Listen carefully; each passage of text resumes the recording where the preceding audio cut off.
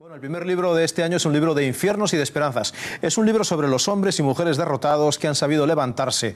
Es un libro de historias crudas de personas que han sufrido por las drogas, por el crimen, por el satanismo, por la ludopatía, por el alcoholismo, por los abusos o por el maltrato y han sabido recuperarse y su vida ha dado un giro radical. Les hablo de ocho historias sin vergüenza, resiliencia o don, es decir, capacidad de soportar el sufrimiento o gracia esa es la pregunta que subyace a estas ocho historias en las que ocho personas cuentan sin vergüenza un proceso íntimo que muy pocos se atreverían a relatar.